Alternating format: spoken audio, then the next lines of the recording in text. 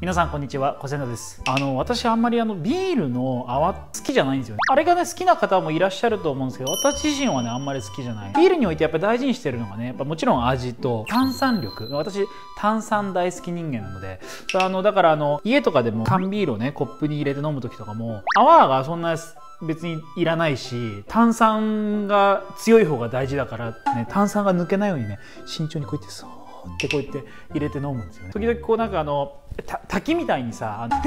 みたいな感じでうわーって上からやってドバドバドバ泡じゅわじゅわ泡ドバーみたいな感じに注ぐやり方ありますよね。あれ見たら やめてみたいな。炭酸への冒涜だとか古仙台式日本教室でございます、えーあメガネ買いましたね。メガネを新しくしました。このメガネで。新シリーズ やっていきます。えっ、ー、と、言語学ですね。変音現象丸2、えー、連上パート2です。えー、前回、連上のパート1をやりました。えー、連上についてもう少し詳しく例を見ながらやっていこうと思います。このパートで、え、連上については終わりです。えー、一応、連上というものが、えー、どういうものかについて復習しておこうと思うんですけど、えー、まあ、もちろんね、何か2つのものを合わせるっていうのが、えー、今回、ま、合成語というかね、語を合わせていく。まあ、ちょっと、合成感はちょっと少ないんですけど、連上の場合はもうすでに結構結合が強くて、えー、そこはちょっと切っても切り離せない感じになってはいるものが多いので、ちょっと合成語っていうには、えー、はっきりとは言わないようにしているんですけど、まあ、何か2つのものねくっつけた時に起きる変音現象の一つとして連上というのがあると。で、えー、まあ、え、全部要素の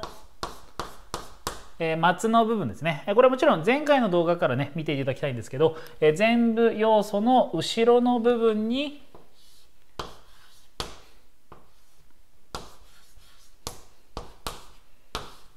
この NMT の音が来ていると。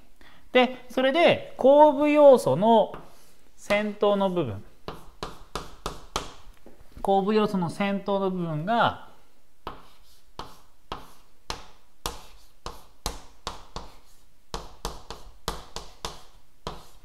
えー、あ行、や行、和行の音が来ている場合、ここの音が、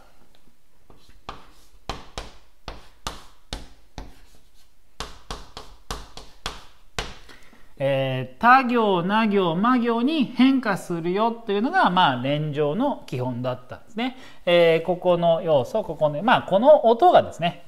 えー、影響を与えると。影響を与えて、こういう音にね、まあ、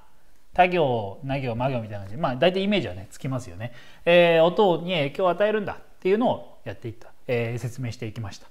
前回挙げた3つの例がありました。それは全てですね、M の音。全部要素の後ろが M の音の例を挙げていったんですけど、それ以外のここの N の音とか T の音っていうのが出る場合の例っていうのを今日ご紹介していこうと思います。えっ、ー、と、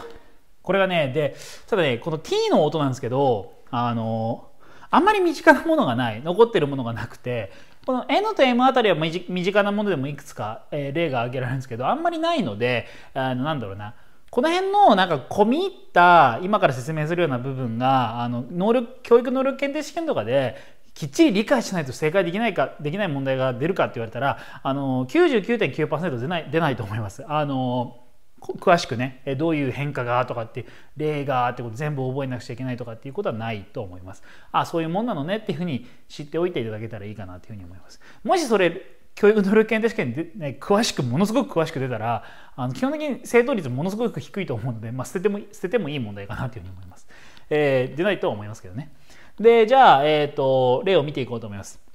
え、銀杏、えー、辞書とかをですね、えー、この辺り調べると銀杏とかって入れると銀杏の連乗したものとかっていうふうに書いてある辞書もあります。えー まあ辞書によって書いてないものもあるんですけど、えー、銀杏っていうのが連乗した言葉だよと。まあ、ちょっと今少し言っちゃったんですけど、じゃあどういう、えー、音の変化、連乗が起きたのかっていうことを詳しく見ていきます。銀杏はですね、えー、まあもちろんね、この漢字を見ればね、えー、想像はつくと思うんですけど、またもともと銀杏だったんですね。銀杏だったよと。なので、銀、ここむ、むというね、M の音ではなくて、んというね、N の音なんですね、銀。で、後ろにあが来てますよね。後部要素の先頭の部分にあ行のねあの音が来てるよと。N 全部要素の後ろが N の音で、えー、後部要素の頭があ行が来てるっていうことでこの N がねこのあ行の音に影響を与えて結果的にまあな行音に変わるよと。ね、影響を与えてな行音に変わるよっていうのが起きたと。それで「あ」じゃなくて「な」という音が出てきたと。結果的にここに「な」という音が出てきてこれで連上完成ということで「銀杏」という音になったよと。ねまあ、これは馴染みのある今でもね、えー、と使う言葉というか残っていると思います。えー、他にね例を見ていきますと「えー、因縁」という言葉があって、まあ、これもね想像できるかなというふうに思うんですけどもともとはどういう音だったかというと「因縁」というふうに書くと、えー、つまりこれあの「ワイウエオ」の「絵の音あの、まあ、最近だったらあれかな。あのカタカナとかだったらねあの「エヴァンゲリオン」とかね「エヴァンゲリオン」とかとこの？まあ本来ああいうような絵の音と同じなんですけど昔はですね上上みたいな感じでちょっとえあいうえおの絵はえわいうえおのこの絵は上上みたいな感じで発音の区別があったらしいんですけど今ないですね、えー、まあ円という和行の音だと、まあ、つまりなので因縁の場合は、えー、陰のね後ろの部分がこの N の音になっていて後ろの円っていうのが一応まあ和行の音になるのかな和行の音が来てるよと。でそれでこの音がね影響を及ぼして、えー、和行からね、えー、まあな行の音に変わってるよと。それで因年というね音に変わって連上完成ということになっていると。まあ、この辺りもね、まあ、一応馴染みのある言葉でやっていったんですけどでそれな行のあな行 N の音の例として挙げていきましたでここからですねえー、この T の音が出てくる例を挙げていきたいんですけどあの馴染みがないんですよあんまり。あの馴染みのある言葉がちょっとあんま見つからなくて、えー、結構調べたんですけどうんみたいな。あとなんかこの辺りちょっとちょっと私もなんかようわからんなみたいな感じのちょっと連城研究をねやってる方とかに詳しく聞けばわかるんでしょうけどちょっと私も詳しく調べてもなんかうんみたいな、いろいろ母音がね転化したりとか転化されないとかなんかいろいろなんか条件が分かれていくみたいでこの辺りちょっとあの本当に勉強したい方はですね大学行ってそういう詳しい先生に聞くとかそういうことをしないといけないかなというふうに思います。えー、っとまあ例をね、簡単に挙げておこうと思うんですけど、えー、まず1個目1個目からもうねあの何この言葉ってなるそうなんですけど、まあ、接近、えー、接印とかね、えー、いう時もあり連乗しないで接印とかっていう時もあるんですけど、え、これあの、まあ、いわゆるお手洗いのこと、えー、昔のそのトイレのこととかをねえー、トイレを言う言葉なんですけどまあ今使う人はほとんどいないでしょうとね、えー、接近と。これどこでどういう連乗が起きてるかというと、えー、接印、えー、接印というふうになっていてまあこの「つ」ってねちょっと、えー、ここの音がですね「うん」とは違って「つ」って母音も入ってんじゃないかなと思うんですけどまあ母音入ってないと。えっ、ー、と節節みたいな感じで、まあ、t の音だよと、えー、いうふうに発音されていたようなんですけどね。どうなんですかね、まあ、t の音がとにかくあるよと。でその後ろに えっとまああ行の音、えー、いの音が来ているよと。でそれでこう影響を及ぼして、えーまあ、他行に変わったと t の音で他行に変わったとで他行音なので、えーまあ、ちという音に変わったよと。でこれで連上だと。あとまあもう一点そのここ。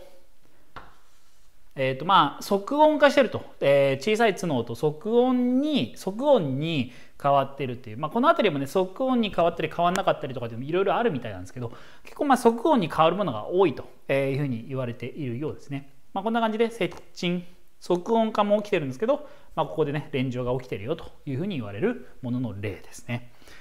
馴染みがないからね、えー、そもそも日本教育において、まあ、こういう現象があるんだねということをただ教師側が知っとくだけであってあの授業とかで使えるような言葉ではないと思いますので、えー、まあまあまあそんなもんだと。次もねあのこれもいよいよそのなんかもう使わないなというふうなものなんですけど「こんにちは」って上に書いてあるんですけど「まあ、こんにちはこんにちは」これはね「こんにった」という音に、えー、で言われることがあると。これはあのもう残ってないんですよね。残ってないんですよこの「こんにった」っていう方は。なんかあのお芝居とかその狂言とかのお芝居とかであのその室町時代のものとかを題材にしたもので「こんにった」あいわゆるその「今日は」って意味で「こんにちは」とかあとは単純な挨拶でも使うのかな、えー こんにちはの挨拶でも使うのかなと思うんですけどそれがね「こんにった」と発音されることがあるようなんですね。その古いお芝居とかでは。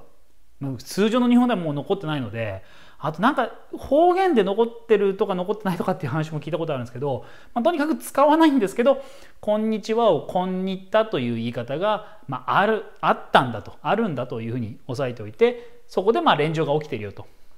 まあ、なのでえー、っと。えー、こんにちは和まあ音がね「あのは」と書いてあるんですけど「和」のね和行音になっておりますから、えー、まあここでまあ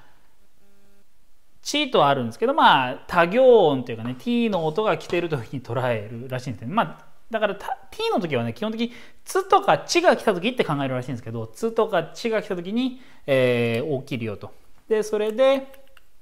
後ろに和行の音が来てそれで影響を及ぼすでそれでまあ多行音に変わるよと。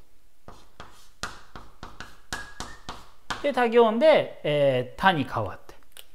ここで連城が起きてると言われてるらしいですね。で即音も、まあ、即音化も起きてるよということです。まあなんかあのちょっと私もねよくわからない。この辺はちょっと、えー、すいません。なんかあの動画作っておいて投げやりない言い方になってしまうんですけどあのちょっと詳しいねあの仕組みとかかなり細分化されて例がねいろいろ見たんですけどうんみたいな、えー、いうふうになるところでしたので、えー、ちょっともしね詳しい方いらっしゃったら教えて是非とも私もね教えていただきたいなというふうに思うんですけど、えー、まあそんなものがねレンジを初めて知ったという方はあこういうのがね一応例なんだというふうに覚えて押さえておいていただけたらいいかなと。でえー、まあこの辺もね因縁とか銀杏とかねなんかあの この辺は出されてもいいかもしれませんね。なんか因縁とかあとまあ天皇とか観音様とかの観音とかもこういう連城が起きてるんですけどその辺りなんか連城が起きてる五代王とか、えー、いう説明を見た時にああはいはいみたいなこの辺がよくある出てくる例なので、えー、押さえておいても押さえておいて損はないかなというふうに思います。ただこういう今やったみたいに詳しいその仕組みとかまではそこまで突っ込まれないと思いますので、えー、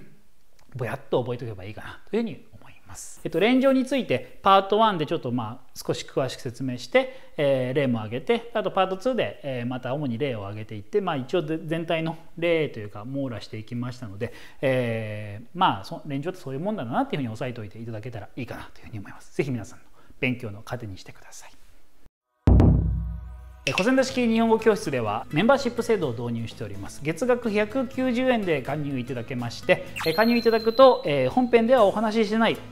裏のお話をですね皆さんにお届けしております。本日はですねインターネットの誹謗中傷について